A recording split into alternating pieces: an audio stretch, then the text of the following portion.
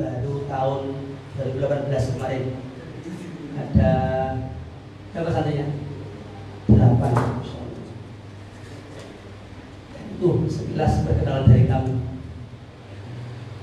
Mohon barokah doanya dan nanti bila berkenan minta ijazah akikah untuk teman-teman mohon barokah. Minta ijazah suratul Fatihah. Terima kasih. Selanjutnya kami serahkan kepada sambutan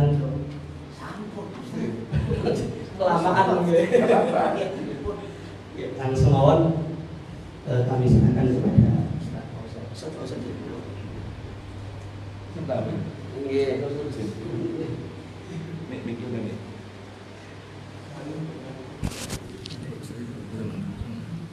Bismillahirrahmanirrahim. Assalamualaikum warahmatullahi wabarakatuh. Bismillah Alhamdulillah Wassalatu ala afdali khalqillah Sayyidina Muhammad ibn Abdullah Wa alihi wa man wa'ala Wa la hawla wa la quwata illa billah Subhanaka la ilma lana illa ma'alamtana Innaka antal alimul hakim. Rabbi shrah li sadri wa yassir li amri wa hlul 'uqdatan min lisani yafqahu qawli. Rabbana atina min ladunka rahmatan wa hayyi lana min amrina rasyada Rabbana zidna ilman hukman min ladunka ilman tawaffana musliman alhiqna bis salihin walhamdulillahi rabbil alamin. Yang terhormat yang kami hormati dan muliakan para seluruh santri mahasiswa Baitul Hikmah tak lupa khusus untuk ketua yayasan Ustaz Mashkur Is Mashkur Ismail dan juga Al Ustaz Tajuddin dan juga Al Ustaz Manan Qasim yang belum hadir Al Ustaz Jabir beserta Ustaz Masyuka mudah-mudahan kita semua dirahmati diberkahi Allah Subhanahu wa taala. Buat saya hari ini spesial karena apa? Ini hari Sabtu subuh. Biasanya saya live streaming Facebook bubur subuh kajian subuh. Nah hari ini spesial nih kajian bubur subuhnya di pesantren mahasiswa Baitul Hikmah ya Al Haramain Surabaya. Jadi saya akan berpanjang kata kita akan dengarkan nasihat ilmiah uh, dari guru kita, guru kami khususnya Al Ustaz Al Walid uh, Hussein bin Hamid Al Abbas yang akan menyampaikan permintaan teman-teman di sini Ustaz. Temanya seputar kemuliaan khidmah kepada Al-Quran. Kemuliaan berkhidmah kepada Al-Quran. Nah mudah-mudahan ini dapat memberikan motivasi untuk santri-santri mahasiswa Baitul Hikmah agar semakin dekat kemudian rekat dan lekat dengan Al-Quran. Jangan sebaliknya malah menjauh berhajar dan melepaskan diri dari Al-Quran. Karena memang melepaskan diri dari Al-Quran adalah sumber bencana yang terbesar dalam kehidupan manusia. Nah mudah-mudahan nanti guru kita Ustaz Hussein akan memberikan panduan-panduan melalui tilawah ayat-ayat suci Al-Quran buat kita yang hadir di sini, buat para mahasiswa khususnya agar memiliki motivasi untuk memperjuangkan Al-Quran, menyebarkan Al-Quran dan hidup bersama Al-Quran. Karena hidup yang paling bahagia adalah an-na'ish tahta zilalil Quran. Hidup yang paling membawa kebahagiaan sebagaimana hidupnya para nabi dan para sahabat yang mulia adalah hidup di bawah naungan pandu Al-Quran. Nah kepada guru kita kami persilahkan, namun sedikit biasa di itu kalau kita mau mulai subuh membaca tawasul Quran dulu. Kita baca ikuti bersama-sama. Bismillahirrahmanirrahim. Bismillahirrahmanirrahim. Ya Fattah ya Alim ya Fattah ya Alim ya Fattah ya Alim bil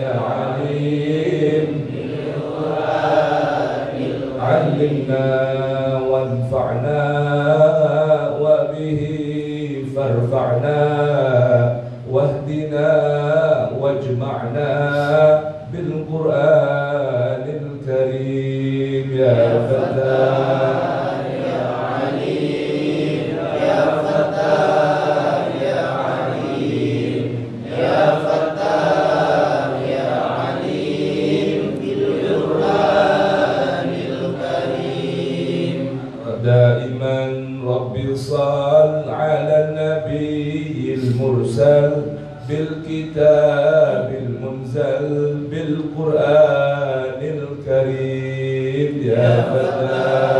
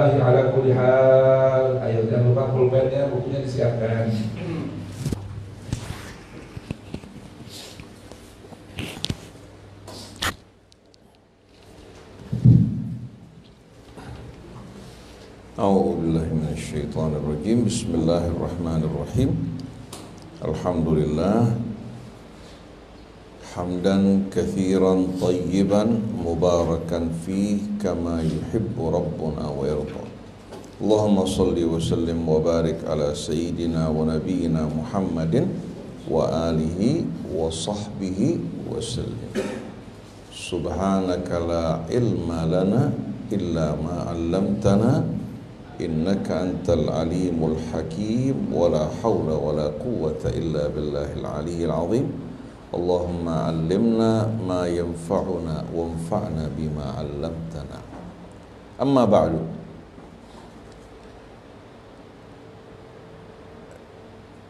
Yang saya hormati, saya cintai para ikhwan akhwat santri atau para santri Baitul Hikmah yang dirahmati Allah Subhanahu wa taala.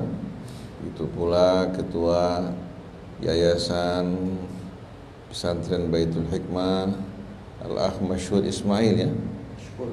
Masyhud apa masykur? Masykur Ismail. Kemudian sekretarisnya Al-Ah Tajuddin. Ini Tajuddin Masya Allah namanya ini. Insya Allah mudah-mudahan jadi jadi mahkota agama ya.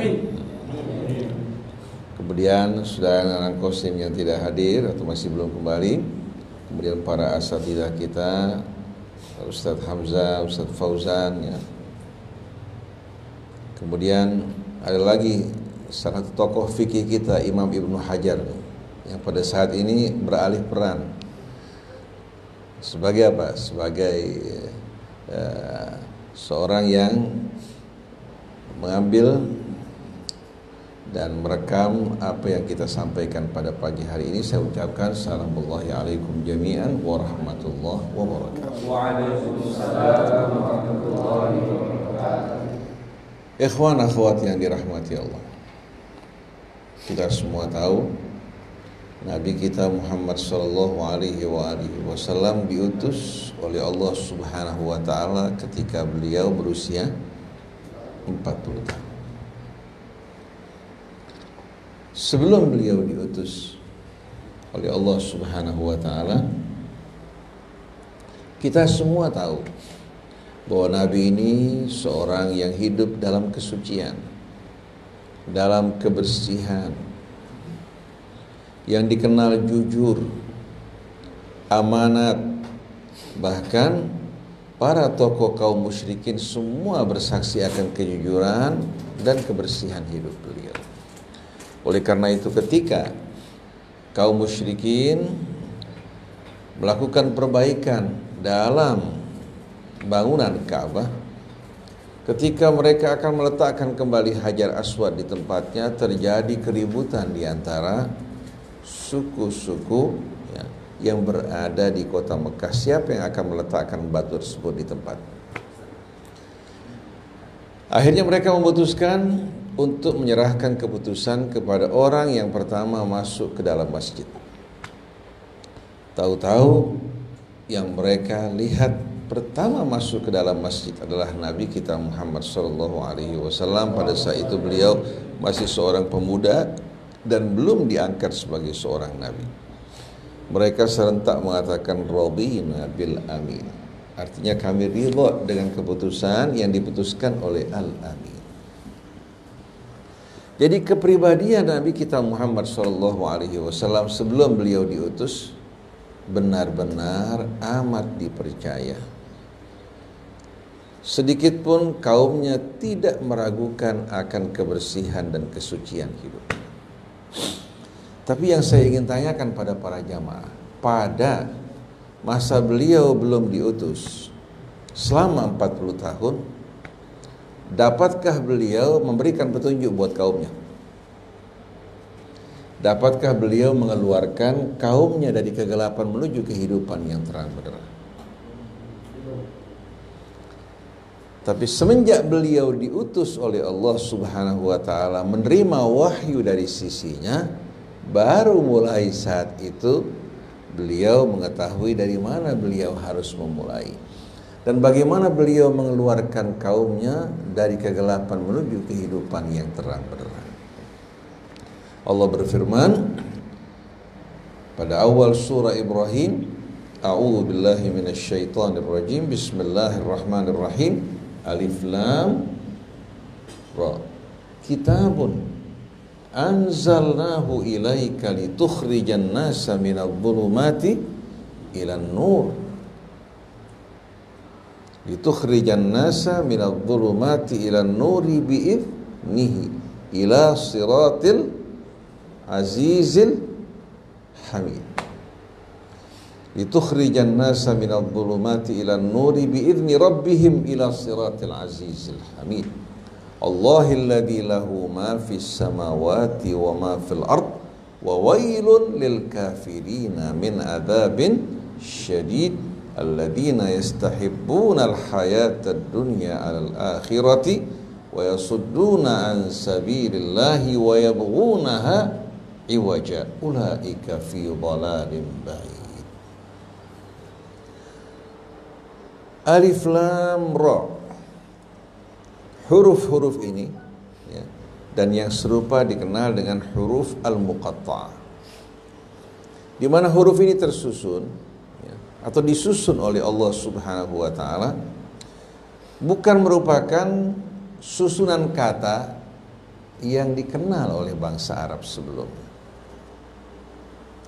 Alif Lam Ra Alif Lam Mim Yasin Taha Kaf Ha Ya Ain Sad Artinya bukan merupakan susunan huruf yang melahirkan kata yang dikenal sebelumnya oleh bangsa Arab betul tidak?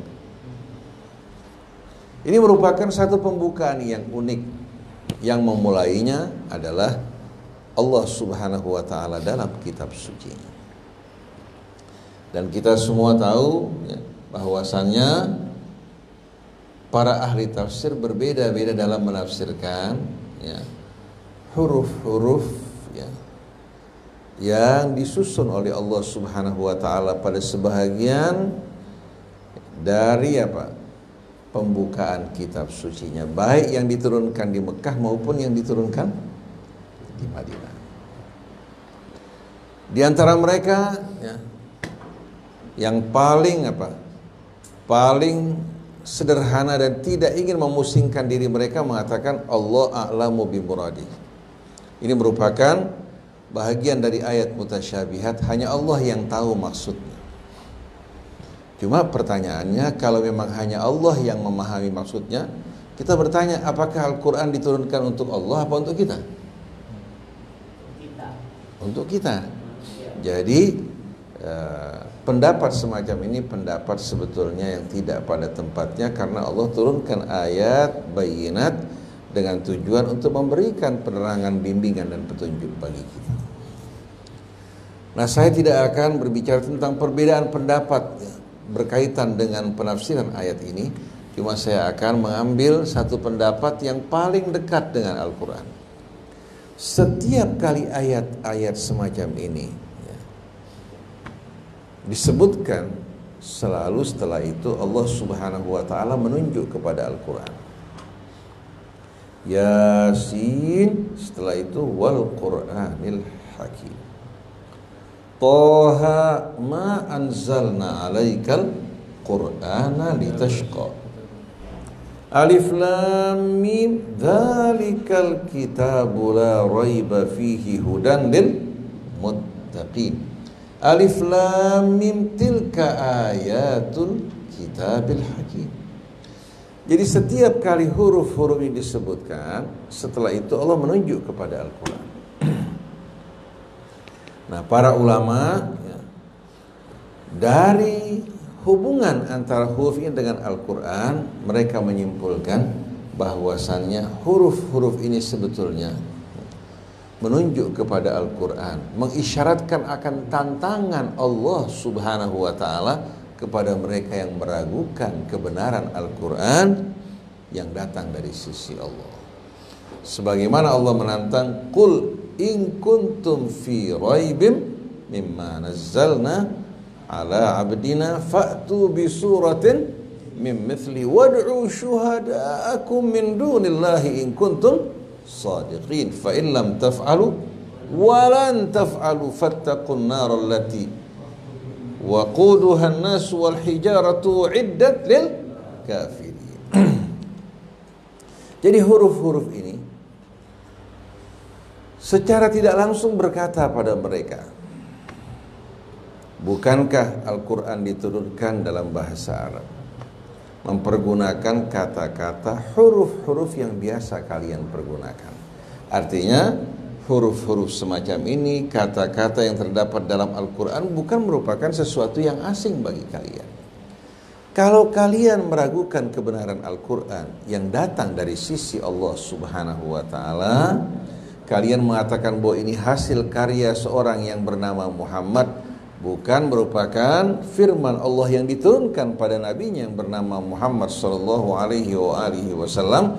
Bila seorang manusia yang tidak mengenal baca tulis sebelumnya mampu untuk menghasilkan Al-Quran seperti ini kalau ini merupakan karya manusia maka dipastikan kalian semua orang-orang yang dikenal sebagai ahli sastra para penyair-penyair yang terkemuka akan mampu menghasilkan yang lebih baik dari apa yang dihasilkan seorang manusia atau paling tidak setara dengan apa yang dihasilkan dan dicapai oleh manusia tapi ternyata tantangan Allah Subhanahu wa taala yang diumumkan di tengah mereka pada saat itu hingga kini tidak ada satupun orang yang tampil untuk menandingi Al-Quran.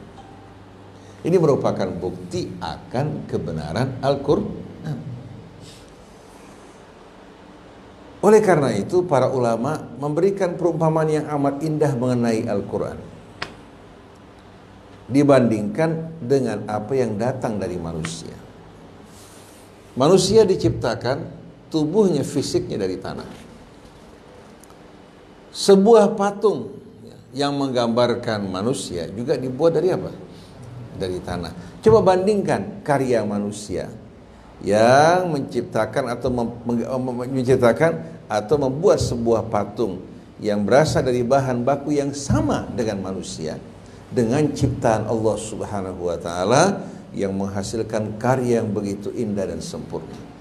Yang satu berakal, berfikir. Yang satu hidup. Yang satu lagi tidak berakal, tidak berfikir, tidak dapat berbicara dan tidak nampak kehidupan seperti yang kita jumpai pada manusia. Itu perbandingan antara kitab Allah dengan hasil karya manusia. Yang satu hidup, yang satu memberikan penerangan, petunjuk yang tidak meragukan, yang satu lagi tidak luput dari kesalahan, kekurangan sesuai dengan batasan kemampuan manusia. Oleh karena itu ketika Allah Subhanahu wa taala menyebutkan huruf-huruf ini alif lam mim dzalikal kitab. Alif lam ra kitabun anzalnahu ilaika litukhrijan nasa minadh dhulumati ilan Taha ma anzalna alaikal qur'ana litashqa. Ada sebagian pendapat mengatakan Toha Yasin lah nama-nama Nabi kita Muhammad Sallallahu Alaihi Wasallam ini tidak tepat. Kenapa?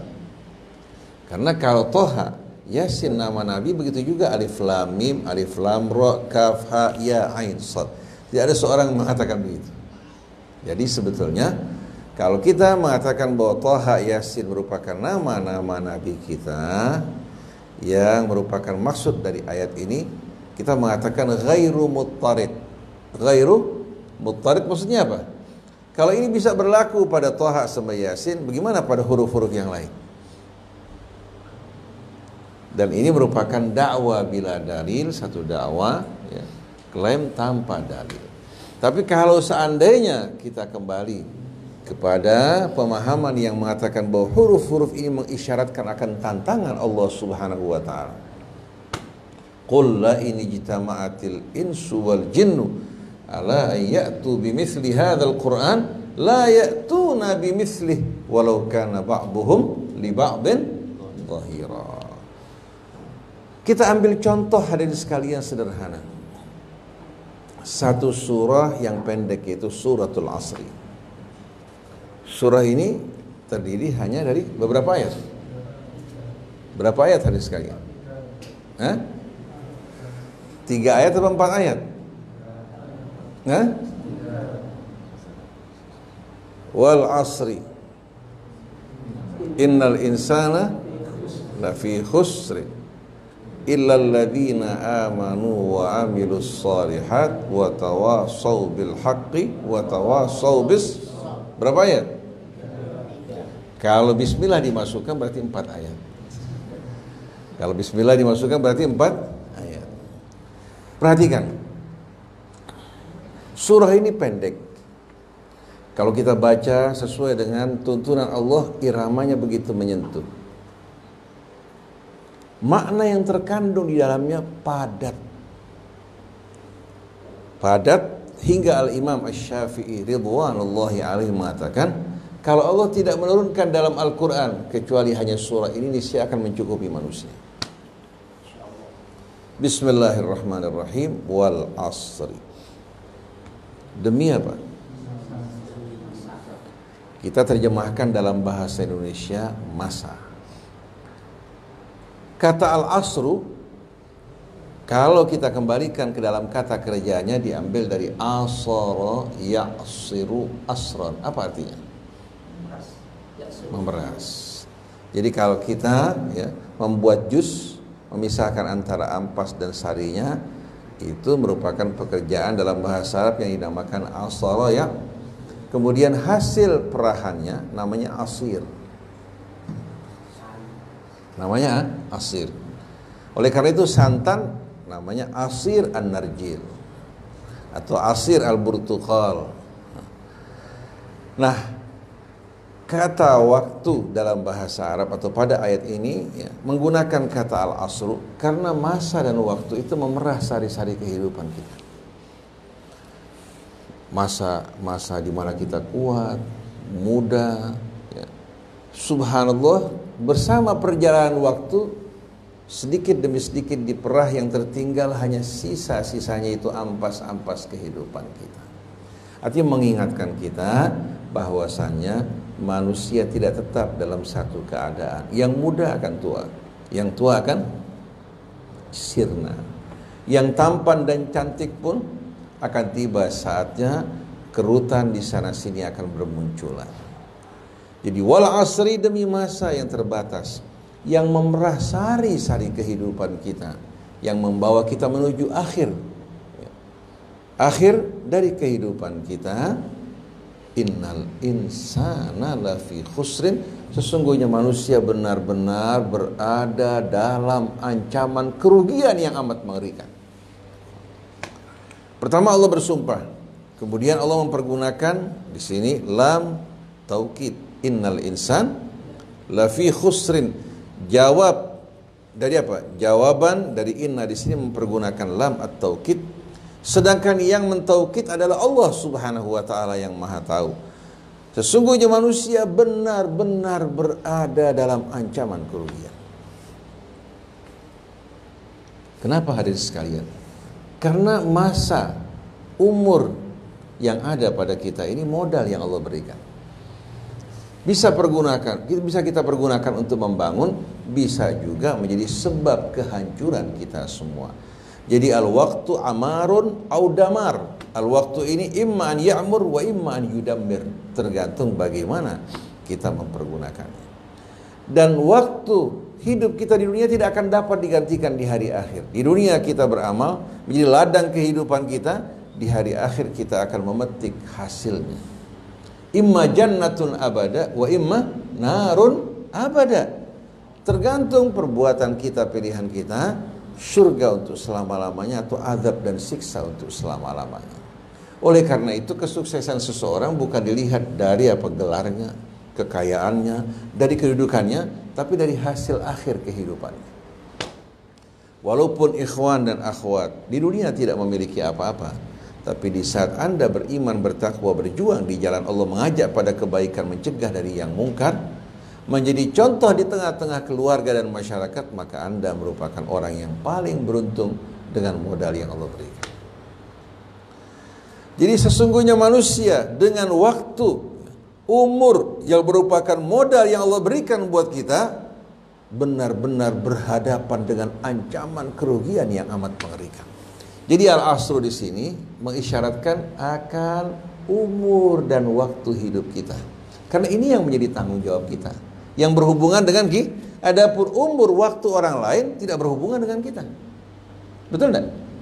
Jadi al-asru di sini wal asri mengisyaratkan akan usia kita, umur kita, waktu hidup kita yang bisa membawa kita menuju peruntungan, keselamatan atau membawa kehancuran, penyesalan, derita yang tidak mungkin dapat ditebus dengan apa pun. Setelah Allah menjelaskan karakteristik dari kehidupan kita di dunia yang merupakan perdagangan yang akan menentukan keuntungan kerugian kita, Allah Subhanahu wa taala memberikan kita petunjuk bagaimana kita selamat dari kerugian tersebut. Illalladzina amanu wa amilus salihat wa tawasau bil wa tawasau bis sabr. Setelah menjelaskan karakteristik dari kehidupan kita, ini merupakan hari sekalian petunjuk bagi kita semua yang amat penting untuk kita fahami agar kita tidak menyia-nyiakan umur, waktu, kekuatan kita maupun harta yang kita miliki bukan untuk kebanggaan.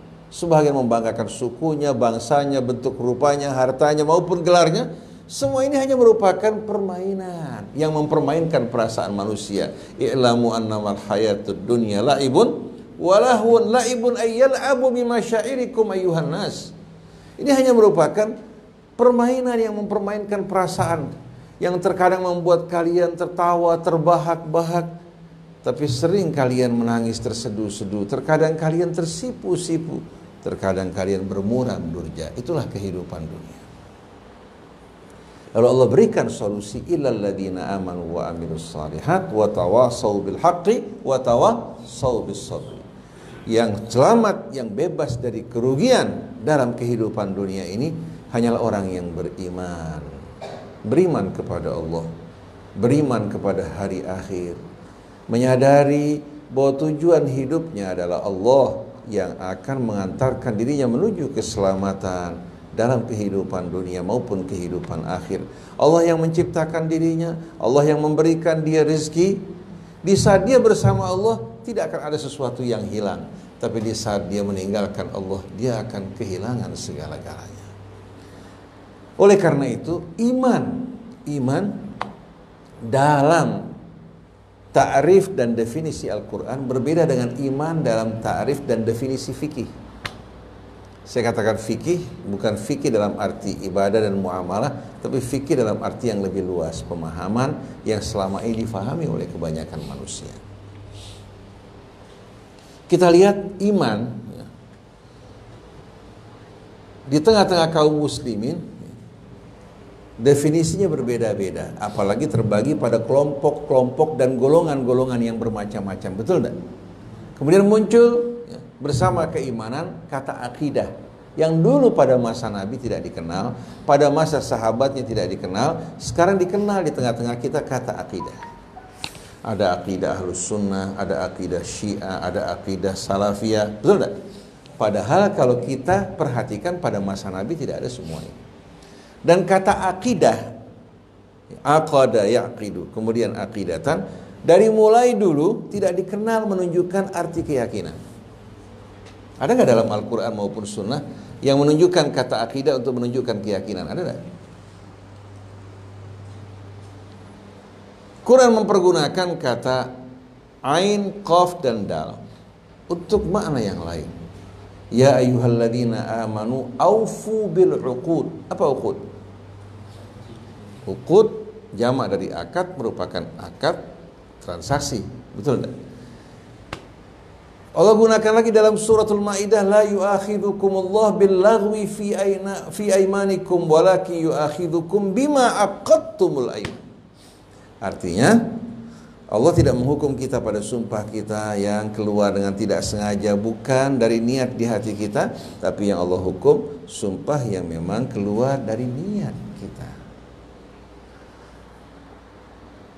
Kalau seorang mengatakan saya bersumpah dengan nama Allah tidak akan lagi menginjak rumah kamu, sumpah yang diniatkan ini kalau ya dia bersumpah semacam ini Quran mewajibkan kita ya, untuk mengkafaratkan sumpah kita. Karena sumpah ini sumpah yang memutuskan rahim.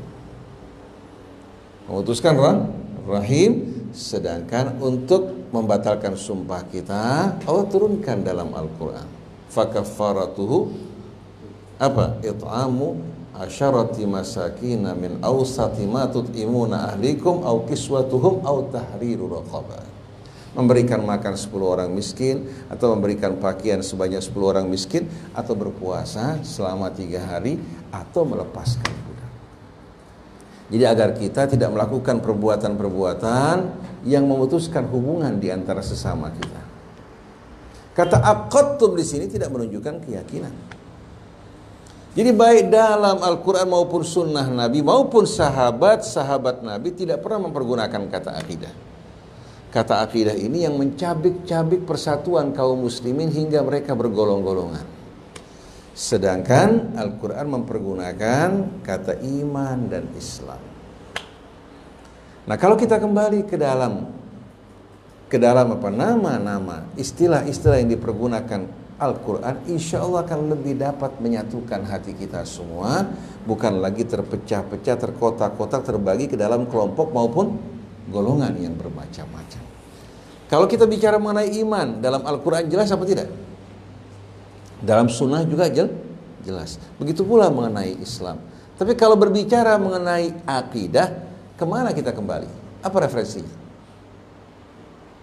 Ada nggak referensinya?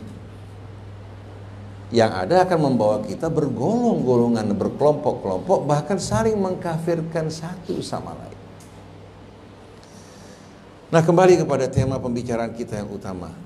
Illalladzina amanu. Iman ini merupakan apa? Merupakan pangkal dari seluruh kehidupan kita.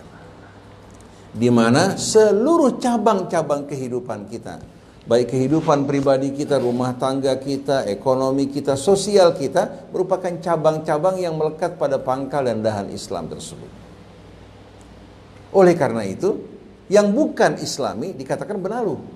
Contohnya, kita beriman kepada Allah, berserah diri kepadanya, tapi cara hidup kita, usaha kita, ekonomi kita bukan bahagian dari Islam. Itu merupakan benalu yang muncul pada apa?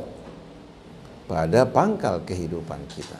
Kalau kita betul-betul beriman, maka seluruh cabang kehidupan kita pasti akan berasal dari keimanan tersebut. Oleh karena itu mengherankan banyak orang mengaku beriman pada Allah, beriman pada Rasulnya, beriman pada hari akhir, beriman pada kitabnya, tapi justru apa? Dia bisa menyerahkan loyalitas sualaknya kepada orang yang tidak beriman atau mendukung orang-orang yang membenci orang yang beriman. Kan aneh luar biasa. Atau dia hidup dalam kehidupan rumah tangganya bukan mengikuti gaya hidup orang yang beriman. Atau dalam ekonominya, atau dalam kehidupan sosialnya, atau kecondongan seninya dia menyukai seni-seni yang sama sekali tidak bernafaskan Islam. Berarti menunjukkan bahwa imannya sakit. Imannya sah? Kalau bukan imannya sakit, berarti hatinya keropos dari iman. Hanya penampilan-penampilan di luar ya, hanya merupakan penampilan-penampilan ritual, ya, yang menunjukkan dirinya sebagai seorang muslim padahal intinya bukan orang yang beriman. Oleh karena itu Allah berfirman, "Innamal mu'minuna alladziina amanu billah wa rasulihi tsumma lam yartabu wa bi amwalihim wa anfusihim fi sabilillahi ulaika humus shadiqun." Orang yang benar-benar beriman adalah yang beriman kepada Allah dan Rasulnya dan mereka ber, tanpa keraguan sedikit pun Bukan hanya mereka beriman, bersemayam dalam hati mereka, tapi mereka betul-betul apa? Memperjuangkan. Memperjuangkan keimanan yang mereka yakini di hati mereka. Mereka perjuangkan dengan harta mereka, dengan diri mereka, karena mereka ingin nikmat yang Allah berikan kepada mereka ini juga didapatkan oleh saudara-saudara mereka yang lain yang belum beriman. Hati tidak akan dapat menerima mufarakah antara iman keyakinan dalam jiwanya dengan kehidupan nyata yang bertentangan dengan imannya. Seorang yang beriman kepada Allah, beriman kepada kitab sucinya, bagaimana mungkin hatinya bisa menerima cara hidup yang bertentangan dengan apa? Dengan apa yang diimani. Cuma Allah tidak mengajarkan kepadanya untuk menggunakan kekerasan, mengajarkan sebagaimana yang diajarkan pada nabinya berdakwah, mengajak umat kembali kepada Allah dengan cara-cara yang baik. Wa man ahsanu qawlan mimman da'a ilallahi wa amila salihan wa qala innani minal muslimin. Siapakah yang lebih indah tutur katanya? Dari orang yang mengajak kepada Allah, bukan mengajak untuk bergabung dengan satu kelompok, golongan atau partai, tapi mengajak kepada Allah. Kalau semua dai mengajak kepada Allah, bakal bertemu tidak? Tapi kalau si A mengajak kepada kelompok A, si B mengajak kepada kelompok B, akan saling berjauhan satu dengan lainnya. Tapi mengajak kepada Allah akan menyatukan umat di jalan Allah dan tujuan yang sama. mimman da ilallah wa amila salihan dan dia mengerjakan amal-amal soleh sebagai buah dari keimanannya. Kemudian dengan penuh rasa pede, rasa bangga dan syukur, bukan menyombongkan diri wa qala innani minal muslimin, dia berkata sesungguhnya aku dari orang-orang yang berserah diri kepada Allah Subhanahu wa taala. Pada saat ini umat Islam ini minder, kehilangan rasa percaya diri mereka terhadap agamanya karena agamanya menurut dirinya tidak mampu untuk menjawab tantangan-tantangan zaman. Akhirnya mereka dikucilkan dan mereka mengucilkan diri mereka. Akhirnya mereka mengatakan agama tidak dapat difahami dengan akal. Agama tidak dapat difahami dengan ah, agama bertentangan dengan ilmu pengetahuan. Ini merupakan betul-betul ancaman bagi eksistensi Islam di saat umat Islam beranggapan agama tidak dapat difahami dengan akal, agama bertentangan dengan ilmu pengetahuan. Padahal ilmu pengetahuan begitu pula akal manusianya semua berasal dari Allah Subhanahu wa taala. Bagaimana mungkin terjadi pertentangan? Ar-Rahmanu allamal Quran. Khalaqal in allamahul Allah subhanahu wa ta'ala yang maha pemurah yang mengajarkan Al-Quran Yang menciptakan manusia Yang menganugerahkan mereka akal Hingga manusia memiliki kemampuan untuk Menyerap ilmu pengetahuan Berkomunikasi dengan sesama mereka Dengan akal yang Allah berikan Nah ketiga hal berasal dari Allah Mungkin nggak terjadi benturan Mustahil Cuma karena umat Islam tidak bersuruh di bawah naungan Al-Quran tapi lebih condong untuk kembali kepada pendapat-pendapat manusia, akhirnya cahaya cahaya mereka rendu. Pendapat manusia cocok untuk satu masa, belum tentu cocok untuk masa yang lain. Penafsiran manusia cocok untuk satu kondisi, belum tentu cocok untuk setiap kondisi. Tapi kalau kalamullah, kitab suci Allah berlaku untuk semua waktu. Berlaku untuk semua tempat. Karena ilmu Allah tidak dibatasi oleh dimensi ruang dan waktu karena dia alimul ghaibi wasyahadah. Oleh karena itu untuk membuat umat Islam memiliki bekal yang cukup dalam menghadapi tantangan zaman, menghadapi berbagai macam problema yang berada sekeliling yang bermunculan, setiap waktu berubah-ubah hanya dengan berpegang pada kitab Allah. Jadi yang keluar, yang bebas dari ancaman yang amat mengerikan di hari kemudian nanti hanyalah orang yang beriman. Bukan hanya sebatas lisan atau bersemayam di hati, tapi iman yang hidup. Iman yang betul-betul apa? Bergelora, bergejolak dan betul-betul apa? Iman yang produktif yang menghasilkan betul-betul buah-buahnya setiap saat. Karena semua cabang-cabang kehidupannya melekat pada dahan keimanan.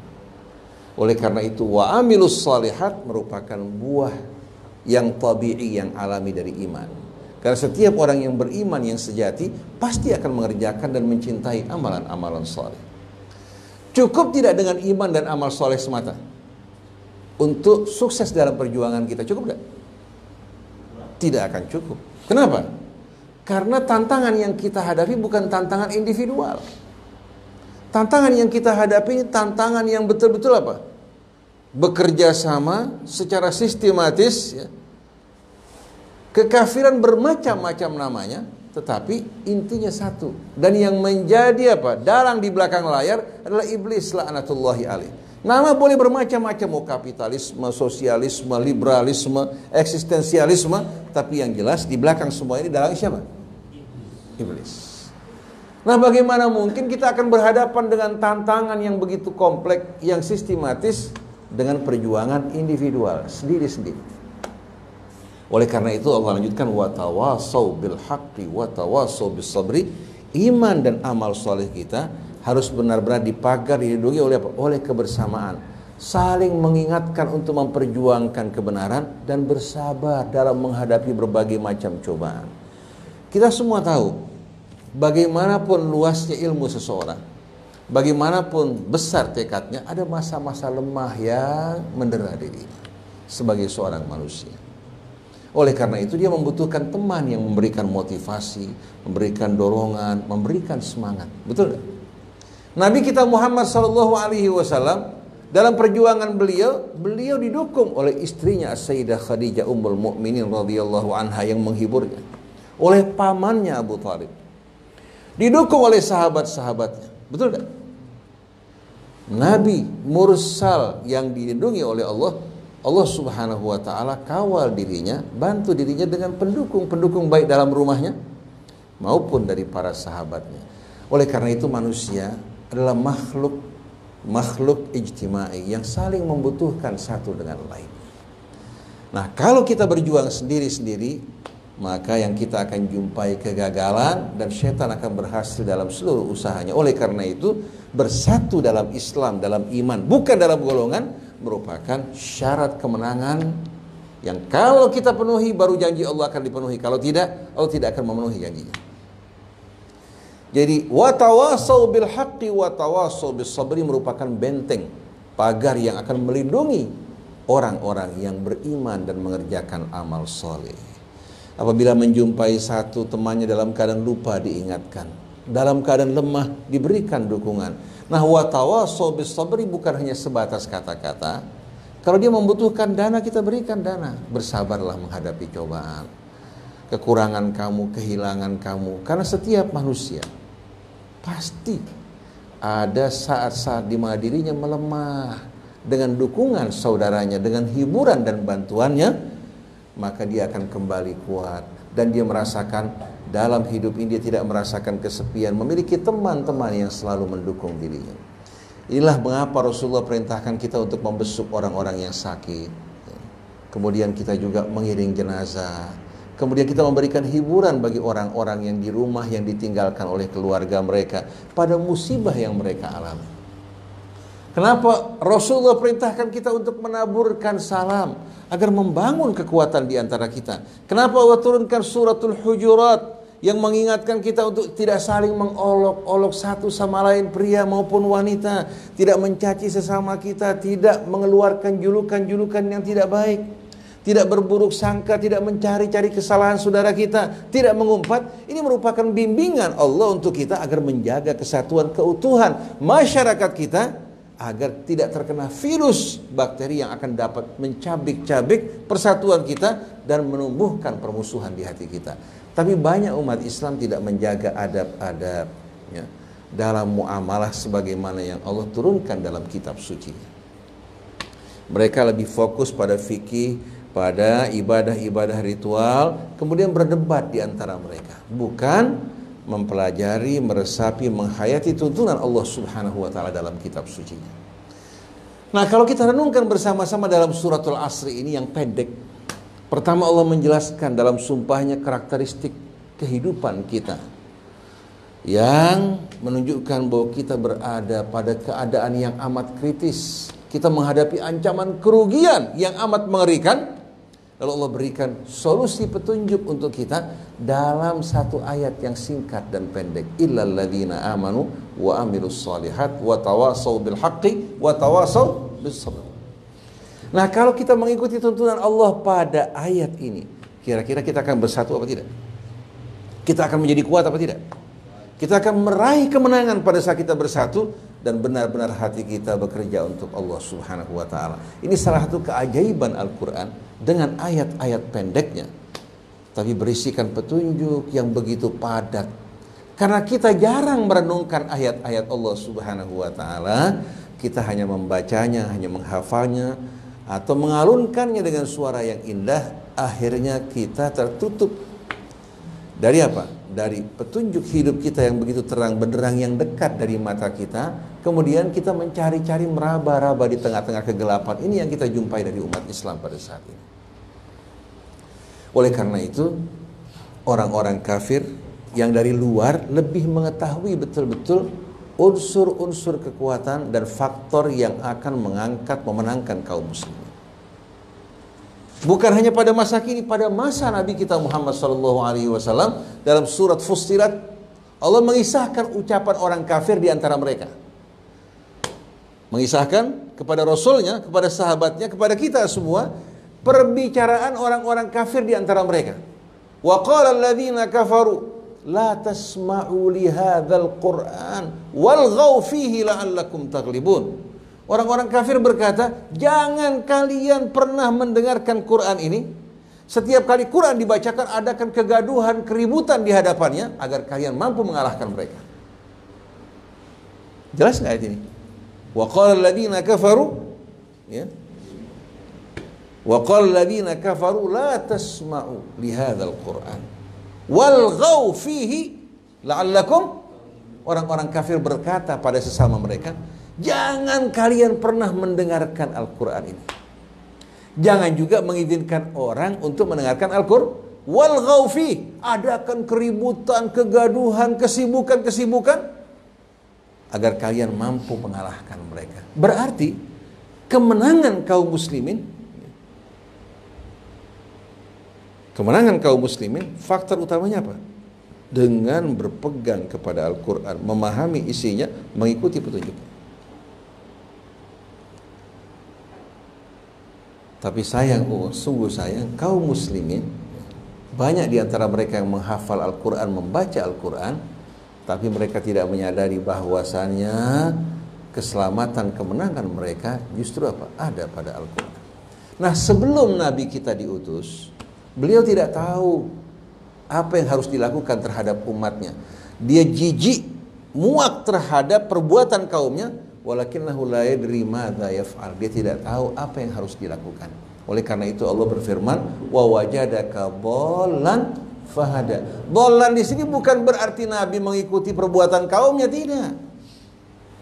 Bola dalam bahasa Arab bahkan Quran mempergunakan kata bola itu untuk makna yang bermacam-macam. Coba silahkan buka ya dalam Mu'jam Mufaras renungkan coba kata bola dipergunakan dalam Al-Quran untuk mana apa saja. Bisa arti tersesat dari jalan Allah, tapi untuk Nabi kita wawajadaka bolan fahada, Allah jumpai kamu dalam keadaan tidak tahu apa yang harus kamu lakukan. Kamu jijik muak terhadap perbuatan kaummu, tidak mampu melakukan apa-apa, akhirnya Nabi mengungsi menjauhkan diri lebih banyak menghabiskan waktunya di Gua Hira beribadah, mendekatkan diri pada Allah. Fahada, lalu Allah berikan petunjuk kamu dengan menurunkan kitabnya, kemudian Allah Subhanahu wa taala menjadikan kamu sebagai rasulnya membawa petunjuk bagi umat manusia. Jadi jangan kita beranggapan bolan di sini anna Rasul sallallahu alaihi wasallam ya'mal amala qaumih mengerjakan perbuatan kaumnya. Ini tidak pernah kita dengar bahwa Nabi sujud di hadapan berhala atau hidup dengan cara kaumnya sama sekali tidak. Begitu Nabi diutus, Allah katakan kitabun anzalnahu ilaik.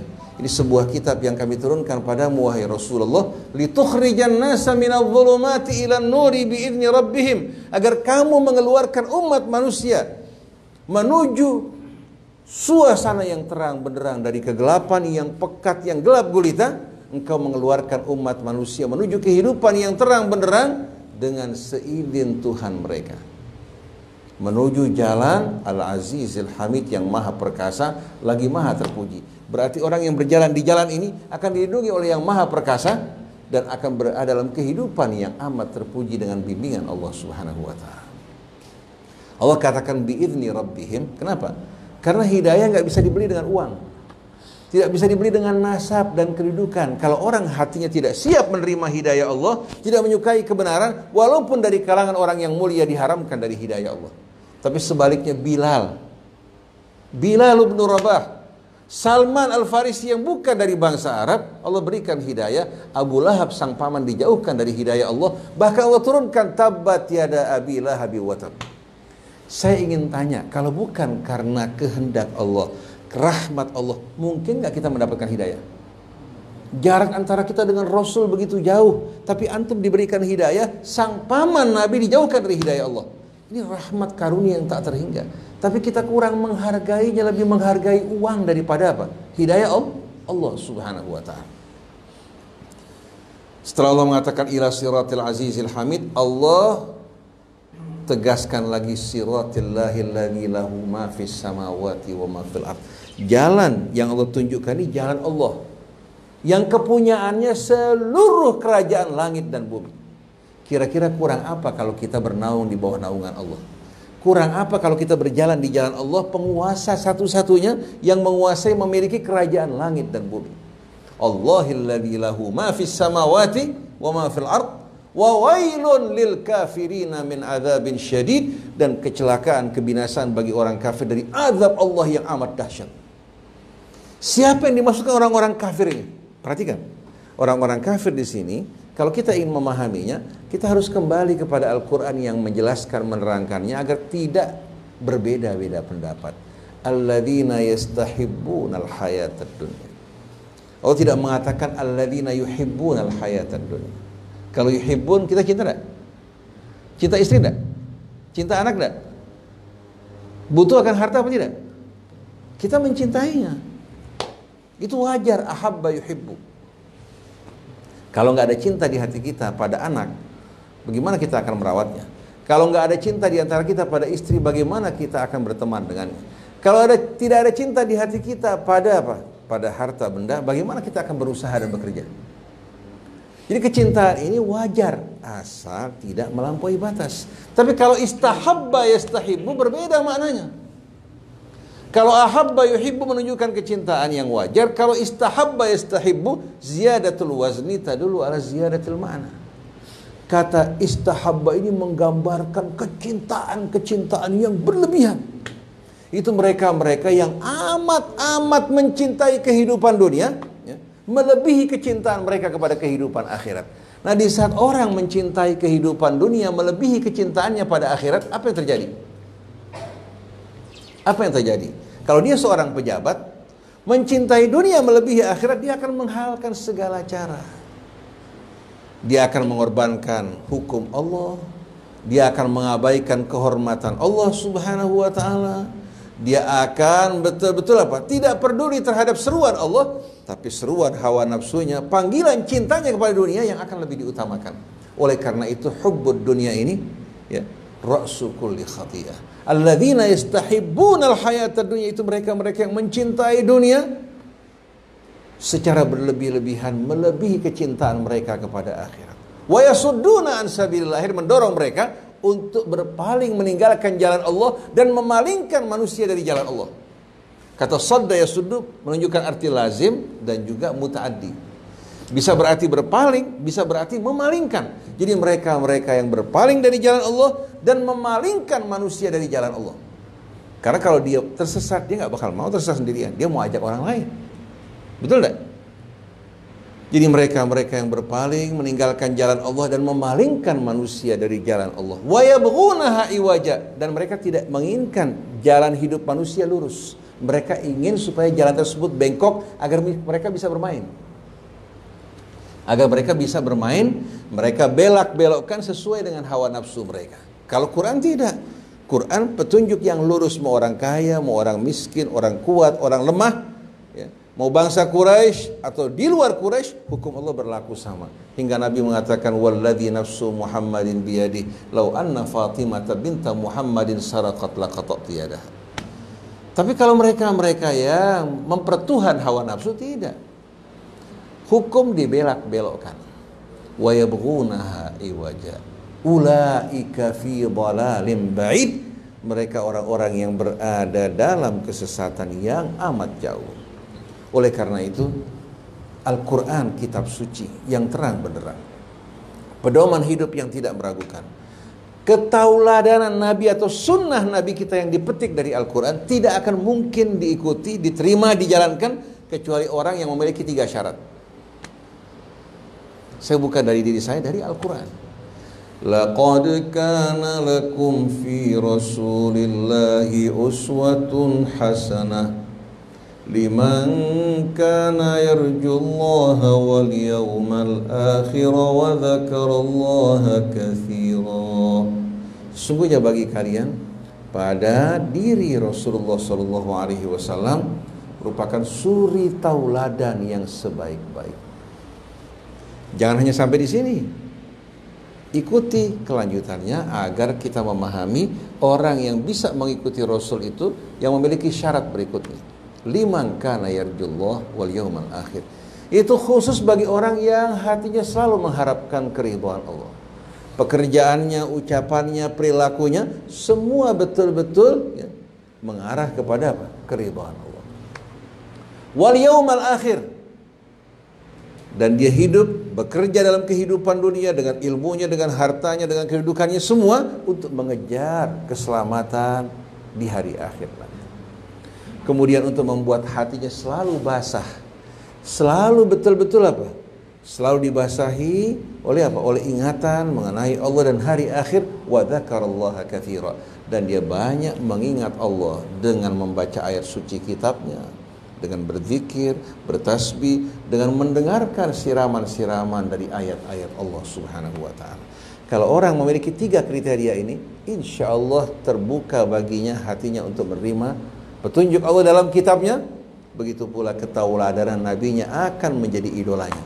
Tapi kalau hatinya tidak menginginkan Allah, tidak menginginkan hari akhir, keinginan dunianya yang dominan, jauh baginya untuk dapat mengikuti petunjuk Allah. Oleh karena itu, dalam kehidupan kita kita jumpai banyak orang yang janjinya indah. Perkataannya menarik, tapi perbuatannya jauh dari apa yang dijanjikan.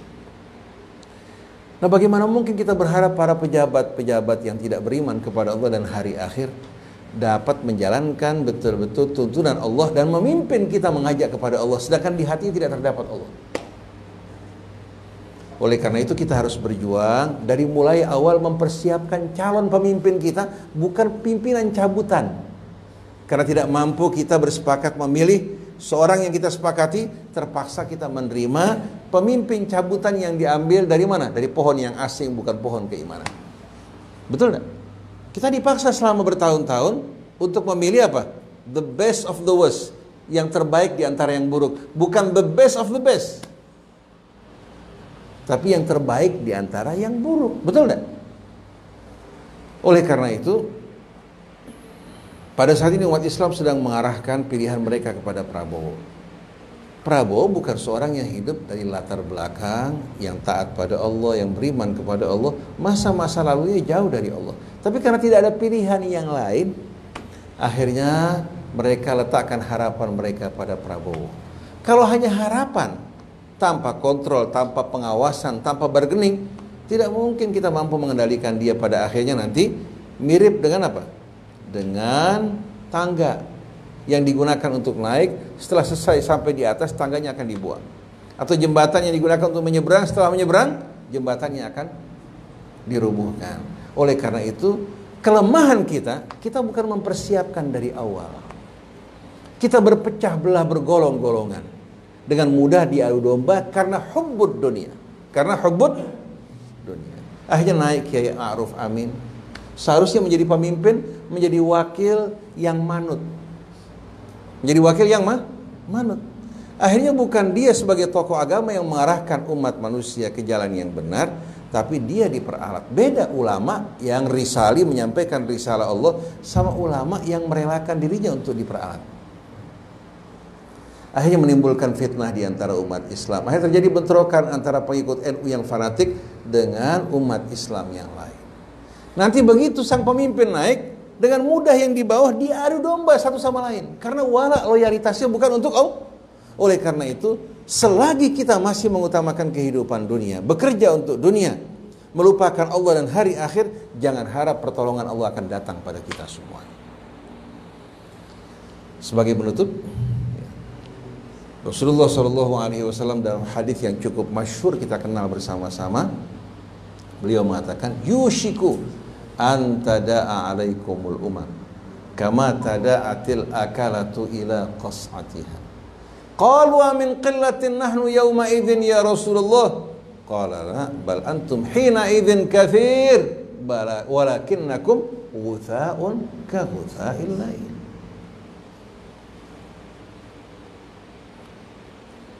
Kata yushiku dikenal sebagai salah satu kata kerja dari af'al al-muqarabah yang menunjukkan arti dekat, tidak lama lagi. Sudah dekat, tidak lama lagi antada'a alaikumul umam. Apa arti tada'a? Diambil dari kata da'a yad'u. Kalau tada'a ya, ya dulu adalah mutawah kan? Artinya hampir tiba saatnya nanti bangsa-bangsa akan saling mengundang.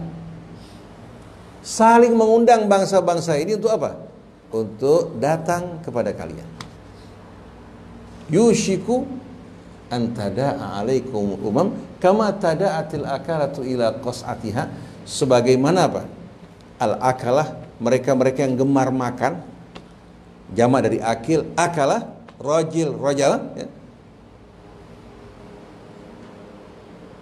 Sudah hampir tiba dekat masanya di mana bangsa-bangsa nanti akan saling mengundang datang kepada kalian seperti kedatangan para pemangsa yang gemar makan di sekeliling Qas'ah. Atau Qas'ah enggak? Hidangan makan nampan tuh yang besar ya atau katakan tempat yang lebih besar lagi yang berisikan makanan itu namanya Qas'ah. Jadi nanti bangsa-bangsa akan saling mengundang mendatangi kalian sebagaimana mereka-mereka para pemangsa yang gemar makan berkumpul di sekeliling jamuan. Jadi kita walaupun kita menjadi umat yang besar, tapi peran kita hanya sebagai apa? Sebagai qas'ah yang berisikan makanan bukan kita yang menikmati, orang lain yang menikmati. Qalu amin qillatin nahnu yauma idzin ya Rasulullah. Mereka mengatakan ya Rasulullah, apakah karena jumlah kita sedikit pada saat itu? Rasulullah mengatakan la bal antum hina idzin kathir. Pada saat itu kalian jumlah kalian amat besar. Walakinnakum ghutha'un ka ghutha'il lain. Tapi kalian tak ubahnya bagikan ghutha. Tahu ghutha enggak? Apa ghutha? Bukan buih. Kalau buih dalam bahasa Arab zabat. Kalau ghutha itu daun-daun ranting-ranting yang kering yang terapung di permukaan air. Ghutha'an ahwa. Rumput-rumput kering yang terinjak-injak ya, yang terapung itu namanya apa? Ghutha. Jadi Rasulullah ingin menggambarkan kita walaupun banyak tapi mirip dengan rumput-rumput daun-daun kering yang terapung terbawa oleh arus. Walakinnakum ghutha'un Kalau kita mirip dengan rumput-rumput kering yang terapung di permukaan air, kira-kira punya peran apa tidak? Ke mana arus membawa kita, kita ikut. Kemudian wa yushikullah an yanzi'a min qulubi a'daikumul mahabata minkum wa yadha'a fi qulubikumul wahn. Dan Allah Subhanahu wa taala dekat masanya untuk mencabut dari hati musuh kalian rasa gentar terhadap kalian. Musuh tidak akan lagi gentar terhadap kita walaupun jumlah kita banyak. Kemudian meletakkan di hati kalian al-wahan. Al-wahan. Nah, di sini Wahan membutuhkan keterangan. Qalu famal wahanu ya Rasulullah. Mereka mengatakan apa sebabnya terjadi wahan tersebut wahai Rasulullah? Karena wahana yahi dalam bahasa Arab difahami artinya apa? Lemah, kehilangan semangat, frustasi itu namanya wahan. Wala tahinu wala tahzanu wa antumul a'launa in kuntum jadi Allah kelak akan mencabut dari hati musuh kalian rasa gentar terhadap kalian. Kalian tidak punya wibawa sama sekali walaupun banyak. Kemudian meletakkan di hati kalian wahan, frustasi, kehilangan semangat juang, putus asa. Itu wahan. Para sahabat bertanya, kalau famal wahan bukan arti wahan yang mereka tanya. Apa sebabnya sampai kita mengalami wahan tersebut wahai Rasulullah? Dijawab oleh Rasulullah, hubbud dunya wa karahiyatul maut. Begitu seorang mencintai dunia, lupa kepada Allah kepada hari akhir, takut menghadapi kematian, padahal kematian walaupun dia lari akan mengejar dirinya, pada saat itu umat Islam akan mengalami kehancuran keruntuhan walaupun jumlah mereka besar. Nah kesimpulan dari apa yang kita sampaikan. Nabi sebelum diutus oleh Allah tidak tahu apa yang harus dilakukan terhadap umatnya. Begitu Al-Quran turun, Nabi keluar membawa hidayah. Huwaladzi arsala rasulahu bil huda wa dinil haqqi liyudhhirahu billahi syahida ba'atha fil ummiyina rasulan minhum yatlu alaihim ayatihi wa yuzakkihim wa yuallimuhumul kitaba wal hikmah wa in kanu min qablu lafi dhalalim mubin hanya dengan mengikuti rasul membacakan ayat-ayat Allah mensucikan jiwa kita jiwa saudara kita dari hubbud dunia dan kotorannya kemudian merenungkan isi Alkitab menjadikannya sebagai pedoman hidup kita, baru kita akan sukses dan berhasil. Tidak mungkin umat ini akan bangkit kecuali dengan sebab kebangkitan yang terjadi pada umat sebelum kita. Oleh karena itu umat Islam pada saat ini kebanyakan dalam keadaan mati tidak memiliki ruh, tidak memiliki nyawa.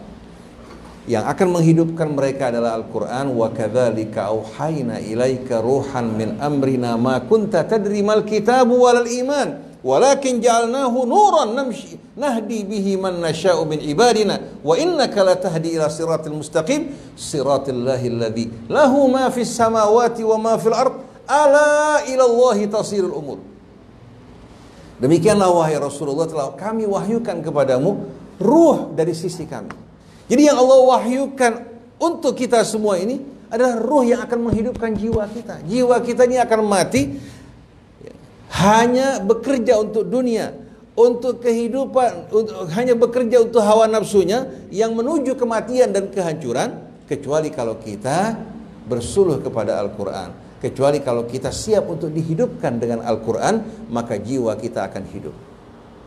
Oleh karena itu Allah katakan mengenai Al-Quran liun man kana hayyan wa yahiqqal qawlu kan?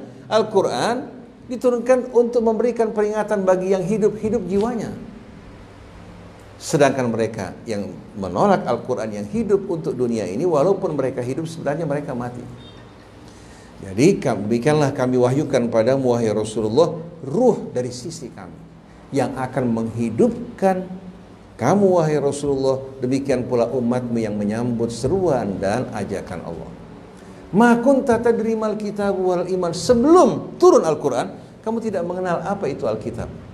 Bahkan Nabi tidak dapat membaca, menulis sebelumnya, walal iman dan tidak mengenali memahami definisi-definisi keimanan keterangan sebagaimana diterangkan Al-Qur'an. Nabi beriman pada Allah, beriman kepada hari akhir, mengikuti sisa ajaran Ibrahim, tapi rincian mengenai keimanan yang begitu indah berhubungan dengan alam raya dan isinya sebagai ayat-ayatnya Nabi tidak mengenal sebelum.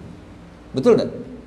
Kamu tidak mengenal sebelumnya apa itu Alkitab, apa itu al-iman yang begitu indah sebagaimana yang diterangkan Al-Qur'an walakin ja'alnahu nuran nahdi bihi man nasya'u min ibadina. Tapi kami jadikan Al-Quran ini sebagai nur. Kami akan berikan petunjuk dengan Al-Quran. Siapa-siapa yang kami kehendaki dari hamba kami yaitu mereka yang terbuka hatinya untuk menerima dan menyambut seruan Allah.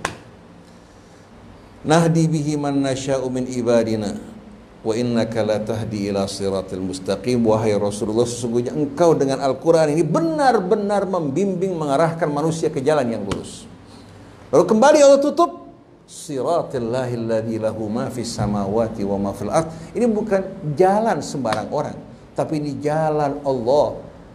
Alladhi lahu ma fis samawati wa ma fil ard Yang memiliki Atau satu-satunya yang memiliki menguasai seluruh kerajaan langit dan bumi Ala ilallahi tasirul umur Ketahuilah pada akhirnya seluruh perkara urusan dikembalikan kepada Allah.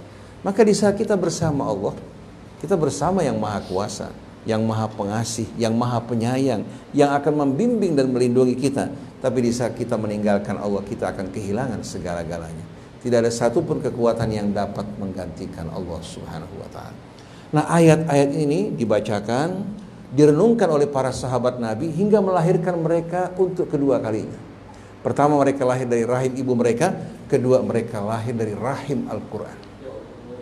Nah kalau kita semua bisa kembali lahir dengan Al-Quran, akan mengubah Bilal yang tadinya seorang hamba sahaya yang tujuan hidupnya hanya menyenangkan tuannya, membersihkan kotoran-kotoran, memandikan keledai, begitu dia beriman menjadi sosok yang selalu dikenal sepanjang masa. Nah, bila Anda semua ingin maju, berpeganglah pada Al-Quran. Jadikan Al-Quran sebagai pedoman hidup kita dan sampaikan Al-Quran. Dan ini merupakan syarat kemenangan. Kalau kita berpegang pada Al-Quran maka kita akan menjadi kekuatan yang tidak mungkin akan dapat dikalahkan. Tapi kalau kita meninggalkan Al-Quran kepada fikih fikih ini merupakan pemahaman manusia yang dipetik dari Al-Quran. Kemudian kita mengkias kehidupan kita saat ini pada fikih-fikih ulama kita terdahulu, bagaimana mungkin kita akan berjaya? Fikih tersebut kondisional. Tapi seharusnya kita di samping mempelajari fikih ulama kita mengembalikan pada kitab Allah karena kitab Allah memiliki ruh yang akan apa? Yang akan menghidupkan jiwa kita. Demikianlah ikhwan akhwat dari saya pada kesempatan pagi hari ini hanya sekelumit ya dari bimbingan tuntunan Al-Quran coba resapi Al-Quran renungkan Al-Quran akan terjadi perubahan yang amat betul-betul apa yang amat signifikan dalam kehidupan kita semua. Subhanakallahumma wa bihamdik asyhadu an la ilaha illa anta astaghfiruka wa atubu ilaik wal afu minkum. Wassalamualaikum warahmatullahi wabarakatuh. Itu pula para pendengar Demikian pula para pemirsa yang mendengarkan dan menyaksikan acara kita pada pagi hari ini dari kota Surabaya. Alamatnya di mana? Dari pesantren Baitul Hikmah, Jalan Gubeng, Kota Jaya. Wassalamualaikum warahmatullahi wabarakatuh. Alhamdulillah sudah kita dengarkan pesan pesan kalau menurut saya ini termasuk pesan yang sungguh dahsyat ini yang disampaikan oleh beliau buat para mahasiswa. Mungkin saya boleh berikan pesan untuk membuka ulang, ya. Karena saya perhatikan ada sedikit yang pagi-pagi, ada sedikit ngantuk-ngantuk, gitu ya, kurang fokus. Saya pesan buat para mahasiswa ini pesan kalian boleh sadur dan saya anjur untuk menyadurnya ke bentuk tulisan. Ini pesan yang sangat berharga dari tanda Quran suratul Asr hingga ditutup dengan surah Ashura di tengah-tengah ada surah Ibrahim ya yang sangat sangat bagus indah kalau boleh bahasa saya nggak berlebihan tulis dengan tinta emas. Ya ini pesan sangat bagus nanti antum boleh ulang lagi. Buka lagi Facebook bubur subuh ya. Cuma mudah kan? Yang penting syarat satu. Kalau tadi Habib syarat tiga untuk dia untuk membuka ini satu satu. Ada kuota ya. Yaitu bubur spasi suhu S H U B U H ya. Di Facebooknya nanti antum dengarkan ulang simak ulang kajian beliau Masya Allah. Pesan yang sangat agung ya yang beliau paparkan dari panduan-panduan kitab suci Al-Quran. Nah nanti ditulis ya dan saya kami tunggu tulisannya. Ya sebenarnya yang sudah ya sama saya tunggu tulisannya ya dalam bentuk PDF ya bisa dikirim.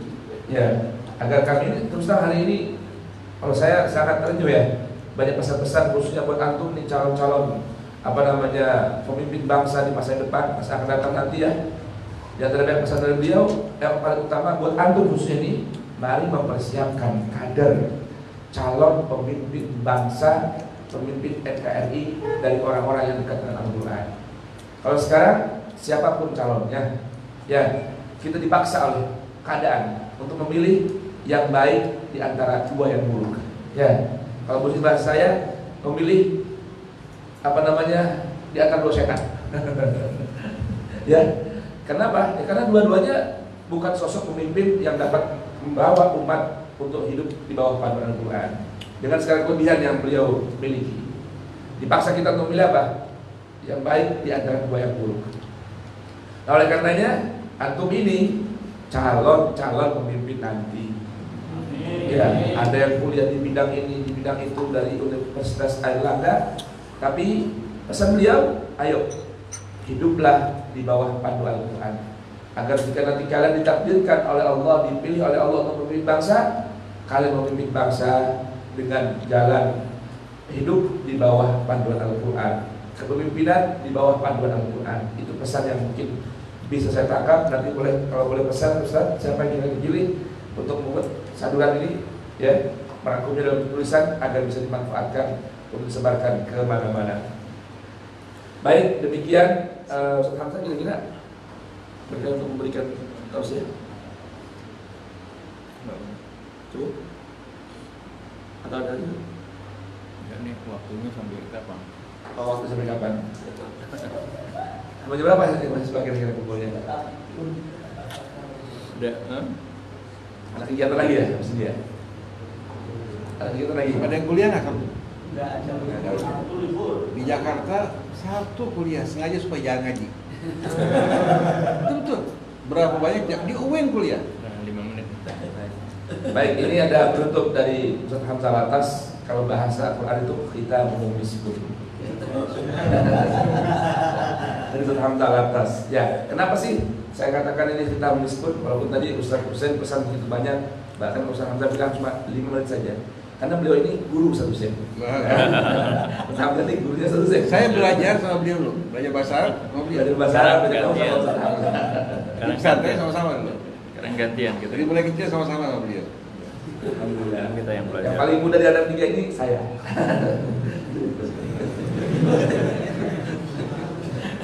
Tapi yang banyak istrinya beliau. Baik, Eh, Wan, eh, akhwat juga penyimak kajian umur subuh di mana saja berada, mari kita dengarkan tausiah dari Ustaz atas. Selepas ini kami mengundang antum semua kalau memang ada kuliah hari ini bergabung ya. Di mana? Masjid Baitul Haq di Ketintang Barat. Tentang permai. Ketintang Permai, maaf, Ketintang Permai, dekat Ketintang Barat ya. Dekat daerah Haramain. Kalau antum nggak tahu nanti satu jalan jalannya ya. Sudah tahu nggak di sini ya. Meramaikan hari ini ada kajian bersama Ustaz Hussein. Temanya juga dahsyat lagi nih. Temanya di seputar eh, gender dan seksualitas sesuai pandu Al-Quran. Ya, antum perlu tahu ini karena sekarang ini banyak pemikiran-pemikiran yang di antara su- sebagian sumbernya adalah kitab-kitab tafsir, buku-buku fikih yang yang belum lagi disaring di apa namanya dihadapkan ke hadapan Al-Quran kemudian disusupi disusupi apa disusupi oleh pemikiran-pemikiran yang merusak kesucian ada ajaran Islam ini sehingga ada yang berpandangan bahwa menikah sejenis itu satu hal yang indah itu satu hal yang kudrati nah ini kan antum harus menjawab tentang hal ini ya kalau di mahasiswa mahasiswa mahasiswi ditanya tentang hal ini oleh orang-orang harus menjawab Nah, bagaimana menjawabnya? Hari ini hadir. Jangan ada yang absen. Mumpung libur kuliah, saya dengar malah Ustaz Jabir dan Bu Musyidah sudah siapkan makannya. Gitu ya. Siapkan makan di sana, jadi jangan sampai hadir. Ya. Nanti pun insya Allah Ta'ala Ustaz Hussein akan menyampaikan bersama Ustaz Hamzah dan insya Allah nanti pun Aminah Ihya juga akan hadir rencananya ya pada Zuhur atau Asar saya belum tahu nanti insya Allah Ta'ala kita berkumpul di masjid apa tadi? Baitul Haq ya nama saja Baitul Haq dari Baitul Hikmah kita akan datang ke Baitul Haq. Nah, dan Al-Quran ini adalah merupakan apa? Merupakan Al-Haqqu min Rabbikum Fala takunanna minal mumtarin Al-Quran apa? Min Rabbik Al-Quran adalah satu-satunya nilai dan tolak ukur kebenaran yang benar-benar benar dan pasti benarnya yang datang dari Allah Subhanahu wa taala. Nah, oleh karenanya mari nanti kita hadir di Masjid Baitul Haq untuk mempelajari bagaimana Al-Haq tabaraka wa taala menjelaskan perkara yang menjadi isu di seputar ini juga ada isu apa? RUU PKS, rancangan undang-undang penghapusan kekerasan seksual. Nah, kita mari kita nanti dengarkan bagaimana Al-Haq tabaraka wa taala di Baitul Haq menjelaskan tentang Al-Haq kebenaran dalam hal ini semua. Mudah-mudahan bermanfaat kepada Ustaz Hamzah memberi, memberikan waktu kata beliau 5 menit lalu sambung dengan doa dan tadi apa kita ijazah? Ijazah suratul Fatihah. Nanti beliau akan memberikannya bersama sama si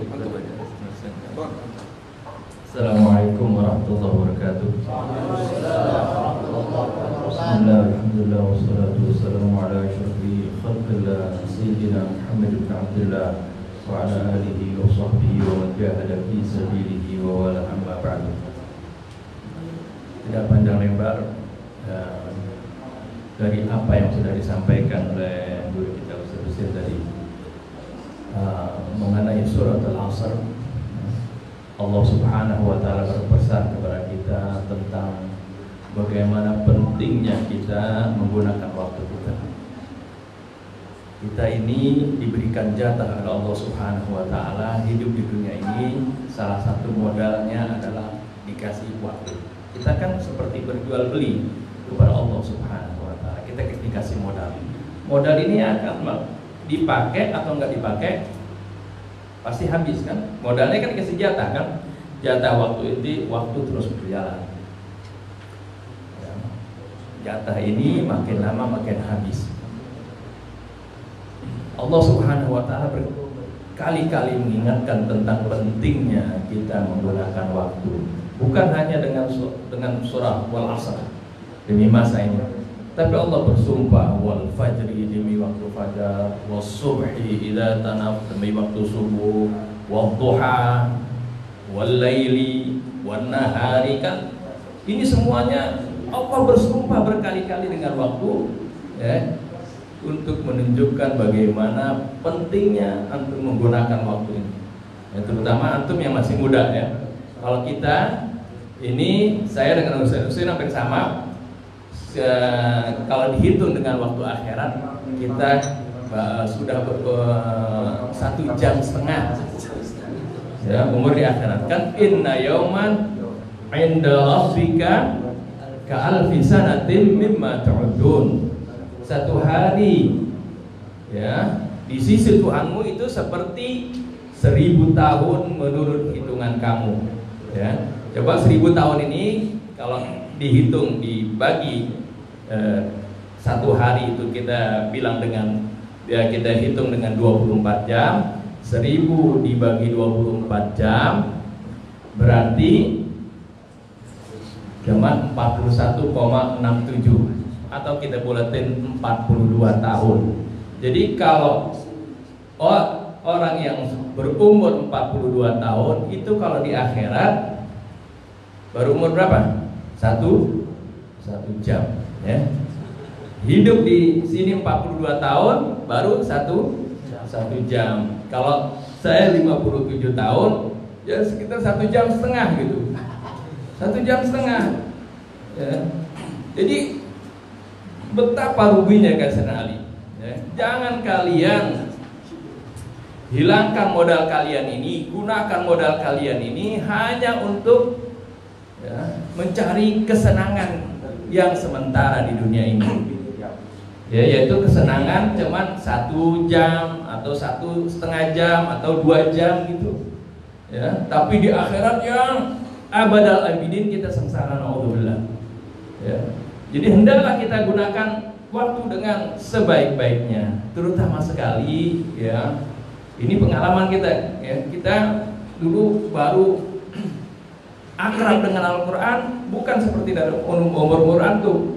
Ya, kita baca Al-Quran, tapi akrab dengan Al-Quran, mentadaburi Al-Quran, merenungi Al-Quran, ya sudah setelah kita baca berbagai uh, kitab, berbagai buku, Hendaknya dari awal kita itu sudah akrab dengan Al-Quran ya, Sudah mentadaburi Al-Quran Bukan hanya baca Kita baca, kita pahami, kita renungi ya, Kita amalkan. Insya Allah Antum akan seperti yang saya katakan Bagaimana me meningkat kehidupan kita ya, Yang asalnya bukan apa-apa Kita menjadi orang-orang yang memiliki kemuliaan, memiliki kedudukan, memiliki ilmu pengetahuan, memiliki kebahagiaan di dunia wal akhirah. Rasulullah SAW mendidik para sahabatnya dari al-ummiyin. Tapi bagaimana mereka menjadi bangsa yang unggul, manusia-manusia yang unggul dengan apa? Jadi kan Al-Quran setiap kali, setiap hari Rasulullah SAW mengingatkan mereka dengan Al-Quran. Fadzakir bil Qur'ani man yakhafu wa'id Nah, ini saja ya, ya, pesan dari saya mudah-mudahan ya antum yang benar-benar ya, menggunakan bisa menggunakan waktu dengan sebaik-baiknya dengan akrab kepada Al-Quran senantiasa membaca merenungi berusaha mengamalkan Al-Quran Karim agar supaya Al-Quran ini menjadi roh bagi jiwa kita. Ya ini saja yang dapat saya sampaikan. Mudah-mudahan bermanfaat. Assalamualaikum warahmatullahi wabarakatuh. Alhamdulillah pesan yang indah, singkat juga. Jangan lupa ya. Jadi antum kan para mahasiswa yang sudah terbiasa dengan konsep akademik yang semua terbat diatur dengan kurikulum dan silabus. Nah, gitu ya. Nah, jadi paling tidak ambil pesan hari ini dari beliau-beliau berdua apa itu tolong buat kurikulum waktu atau silabus waktu itu ya seharian harus ada alokasi membaca mentadaburkan Al-Quran lebih banyak dari baca bacaan yang lain kenapa? Al-Quran itu terangkum dari dua kata Al dengan Quran Al itu menunjukkan makna khusus Quran itu menunjukkan makna yang artinya kesempurnaan jadi terjemah Al-Quran itu satu-satunya atau hanyalah dia bacaan yang sempurna. Jadi setiap orang yang ingin mendapatkan kesempurnaan hidupnya, kesempurnaan belajarnya, kuliahnya, rumah tangganya, apa saja pokoknya, maka mulailah dan kalau bisa tambah lagi akhiri umurnya setiap hari dengan membaca dan mentadabburkan Al-Quran. Buka hidup kita setiap pagi dengan Al-Quran. Tutup sebelum tidur minimal dengan Al-Quran. Kalau tidak, paling tidak sehari empat alokasi waktu. Al-Quran surah Al-Qamar, Walaqad yassarna al-Qur'ana lidzikri fahal min mudakir terulang empat kali. Sebagian ulama menjelaskan empat kali ini minimal empat alokasi waktu untuk Al-Quran. Satu pagi, siang, sore, dan malam. Tapi ingat bangun tidur buka dengan Al-Quran. Ya ayuhal muzammil Kumil laila illa qalila nisfahu awin kusminhu qalila. Kemudian apa? Auzid alaihi wa rattil qur'ana tartila.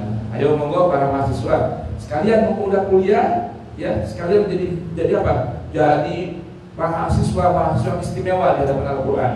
Walau boleh kuliahnya bukan kuliah pesantren agama, tapi UNER, tapi UNER yang keberhasilan mahasiswanya di bawah pandu Al-Quran. Ingin mendapatkan nilai yang sempurna, sempurnakan hari-hari dengan selalu berhubungan lekat dengan Al-Quran. Demikian, waktu sudah menunjukkan pukul 7 kurang 10. Tutup dengan sambutan terakhir dari pemimpin yayasan. Yayasan yaitu Ustaz Maskur. Barangkali mau berikan door prize buat kita. Nah barangkali dengan ini. Barangkali umroh atau dari Lazis ya kan ya? Siapa tahu dari Lazis ya kan? Ada door prize siapa tahu misalnya nih tahun ini ada siswa siswa dari penerima yang khatam Quran 30 juz tahun depan umroh gratis dari Lazis ah, barangkali ada usulan dari mumpung dari yayasan dan mau bicara Nah, berlasis ini mumpung ada habis habis kita ini Assalamualaikum warahmatullahi wabarakatuh. Alhamdulillah tabaraka wa taala wa sallallahu Rasulillah sallallahu alaihi wasallam. Alhamdulillah pagi ini saya terus terang mendapatkan banyak hikmah yang disampaikan oleh Habib Husain. Banyak hal-hal yang awalnya mungkin saya lewat begitu saja dari beberapa pemahaman eh, mendalami makna dari Quran itu yang pada hari ini beliau menjelaskan dengan sangat jelas. Maka ini yang mungkin perlu nanti kita eh, perjuangkan dalam arti kita cobalah selangkah lebih maju lagi untuk mendalami ilmu-ilmu Al-Quran ini. Di awal sering saya sampaikan saya ini adalah orang yang berkhidmah kepada Al-Quran sejak tinggal awal di PESMA Berkhidmah mulai dari mengajar di TPA Bagaimana agar orang-orang di sekitar sini bisa baca Quran Lalu setelah itu berkhidmah mulai belajar ke e, mengajar Quran yang lebih formal lagi. Ya, Mengajar tingkat yang lebih ini ya masuk di lembaga-lembaga formal. Setelah itu belajarlah bagaimana mengajar Quran yang baik. Setelah itu belajarlah me, me, me, menerjemahkan Al-Quran itu. Dan sampai sekarang meskipun saya kuliah di jurusan sejarah di, di UNER dulu tapi ijazah saya hampir tidak pernah keluar untuk melamar pekerjaan. Hanya keluar untuk kuliah itu pun belum selesai sekarang. Tetapi saya dengan hikmah Al-Quran saya diminta mengajar Quran belajar tentang Al-Quran sampai seperti itu. Dan sampai saya menjadi e, berada di Pesma ini mengajar juga orang-orang di sekitar sini yang mulai itu masjid sampai jamaah pengajar ibu-ibu. Itu Quran semua yang diambil. Dari hikmah saya terhadap Al-Quran ini yang banyak dimanfaatkan. Dan Alhamdulillah pagi ini ternyata saya digugah lagi untuk lebih mendalami Al-Quran. Mendalami makna-makna yang bisa diambil makna-makna terdalam dari Al-Quran Karim. Dan mudah-mudahan semua teman-teman yang hadir di sini Ayo kita berkhidmah pada Al-Quran. Dari yang paling kecil dulu lalu bertahap sampai kepada Nanti yang e, bagaimana didakwahkan oleh Habib Hussein Habib Hamzah dan juga Ustaz e, Fauzan ini.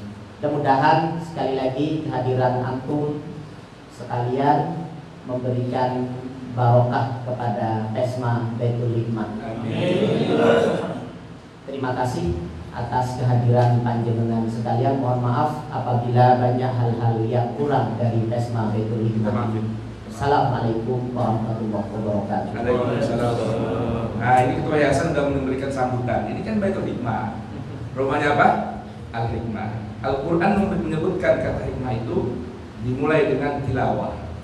Lalu tazkiyah barulah hik hikmah. Yatlu alaikum ayatihi tilawah. Wa yuzakkikum tazkiyah wa yu'allimukumul kitaba wal hikmah. Nah, kami sudah pernah ngobrol dengan Ustadz Mashkuri, Ustadz Tajudin, Ustadz Jabir, Ustadz Masyika dan Ustadz siapa namanya? Nanang Qasim Qori Tengah Internasional Indonesia ini ya Nanang Qasim ya Kita ada rencana mudah-mudahan tahun ini bisa kita mulai ya. Mudah-mudahan dengan masuk tahun baru pemimpin yang baru kita mulai konsep baru. Kira-kira gimana?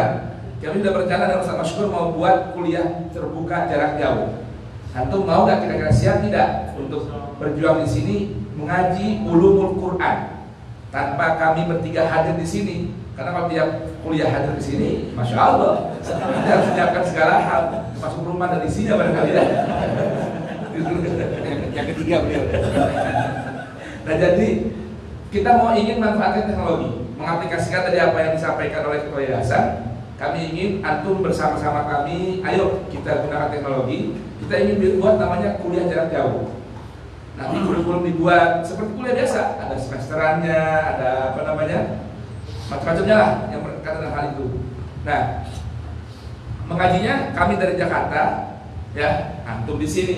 Nanti di hari yang ditentukan ada kajian melalui teknologi. Kan di sini ada itu kan apa namanya? Layar. Layar ada kan? Ada. Ada apa namanya?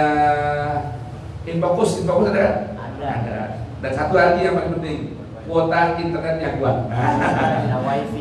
ada wifi. Nanti AB-nya biar isi sekalian. Sekalian. Berapa ya? Berapa ustad? Kita butuhkan 5, 6, 10 ustad kalau AB-nya termasuk di antaranya. Nah, gimana kira-kira? Siap nggak? Jadi nanti buat mahasiswa bisa baik hikmah ada pelajaran tambahan. Apa itu? Ulumul Quran. Ya, malah dengan teknologi. Kan udah ada teknologi ini buat apa nggak kita manfaatkan? Allah berikan anugerah teknologi.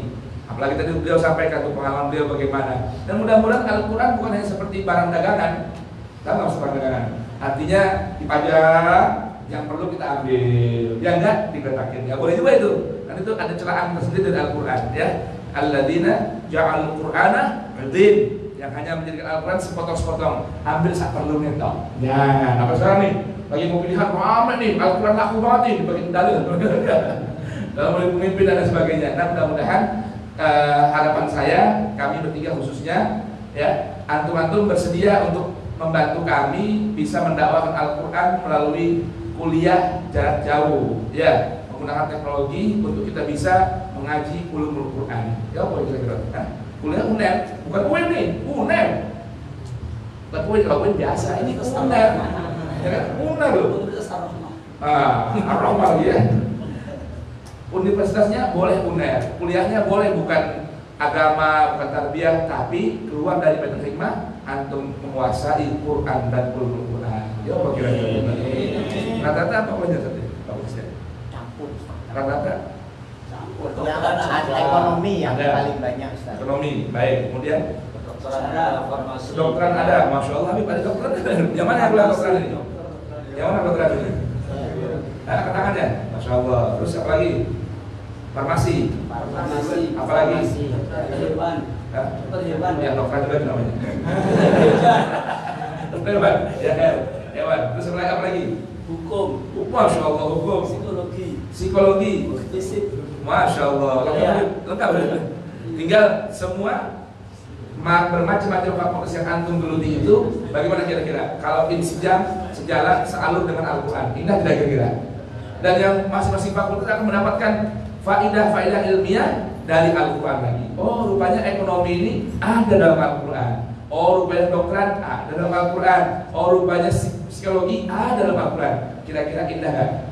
Masya Allah ya. Insya Allah mudah-mudahan bisa segera terrealisasi ya dengan kerjasama tadi kata Ustaz Salim perlu ada kerjasama nih untuk apa? Untuk wal asri untuk apa? Alladzina amanu wa amilus salihat dan wa tawasau. Ada kerjasama dalam hal ini. Baik mudah-mudahan bisa segera terrealisasi. Mohon bantuannya ya. Kami di Jakarta apa yang perlu disiapkan kabarin aja. Kalau sana perlu ada kamera, nanti kami siapkan kamera. Perlu ada ini, siapa ini? Mudah-mudahan di sini pun tersedia. Nanti kita bisa mengaji bersama-sama ulumul Quran, ya. Walaupun mahasiswa Airlangga, tapi pulang menguasai Al-Quran. Dan kira-kira ada nggak yang menghafal Quran di sini? Ada. Hah? Ada pun nggak? Ada nggak? Ada nggak yang menghafal? Santri putri aja. Yang putih. Nah, mumpung ada Habib nih, kalau emang tahun depan ketemu lagi di sini sudah hafal, kira-kira kita kasih ada umroh Habib? Siapa ya? Lebih penting lagi menikah. Oh, nah, jadi kalau hatam Quran dinikahin Habib. Bantu menikah, jangan umroh aja. Kesian. Nilai yang putus nih. Baik, insya Allah sudah ada kabar gembira yang hatam Quran dinikahin. Baik, mudah-mudahan semua Allah taala ijabahkan. Amin. Ya Rabbal Alamin. Demikian, terima kasih kami ucapkan waktu sudah menunjukkan pukul 7 kami juga bersiap-siap untuk berangkat ke Masjid Baitul Haq. Ya, apalagi Bu Arif sudah menunggu kami di sana di seberang hotel. Ya, ada Bu Arif namanya. Kita di sana. Sambutan nikah lebih hangat daripada umroh. Oh, itu dia. Betul nggak? Jadi kata bahasa Arif ini sudah bisa gimana? Diumrohin apa dinikahin? Dua-duanya. Dua-duanya. Baik insyaallah taala, mudah-mudahan ada kemudahan dari Allah Subhanahu wa taala. Niatkan kita dan kita meminta ijazah Fatihah tadi ya dari Habib. Kira, kira, kira. Kira, kira, kira. Bismillahirrahmanirrahim. Ini suratul Fatihah adalah uh, disebutkan oleh Allah Subhanahu wa taala dalam surah Al-Hijr, "Wa laqad atainaka sab'an minal mathani wal Qur'anal 'azim." Sungguh kami telah berikan kepada engkau sab'an minal mathani itu maksudnya surat Al-Fatihah yang sering diulang-ulang ya, wal Qur'anal 'azim dan Al-Qur'an yang Maha Agung. Seolah-olah Rasulullah dapat dua tuh. Surat Al-Fatihah dan juga Al-Quran padahal Al- surat Al-Fatihah adalah bagian daripada Al-Quran Al-Karim ini merupakan apa kemuliaan dari surat, Al-Fatihah jadi eh, ijazah ini sebenarnya ini adalah merupakan sesuatu yang sudah diijazahkan oleh Rasul ya. Rasulullah perintahkan kita baca Al-Quranul Karim ya. Dimulai dari surat Al-Fatihah diakhiri sampai surat Nah, ini saya saya cuma hanya menguatkan ya. Itu eh, Bismillahirrahmanirrahim.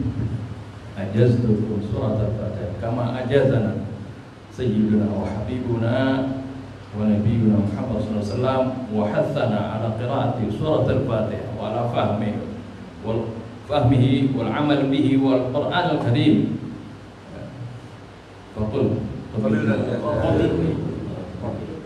mudah-mudahan ya kita bisa menjadi ahli Quran selalu yang men- mengamalkan Al-Quran mengaplikasikan Al-Quran berjuang memperjuangkan Al-Quran Al-Karim di dalam kehidupan kita sehari-hari Ustaz baca talqin kita itu Fatihah. Ustaz baca Fatihah. Enggak, Itu saya Hamzah. Ada Hamzah. Hamzah kita punya kami. Kaki lagi di atas. ya mari eh, kita sama-sama baca umar kitab Hah? Surat surat. Surat surat. Kita ikut dengan talqin. Surah Al-Fatihah. A'udzu billahi minasy syaithanir rajim. A'udzu billahi minasy syaithanir rajim. Bismillahirrahmanirrahim. Bismillahirrahmanirrahim. Alhamdulillahi rabbil alamin. Alhamdulillahi rabbil alamin.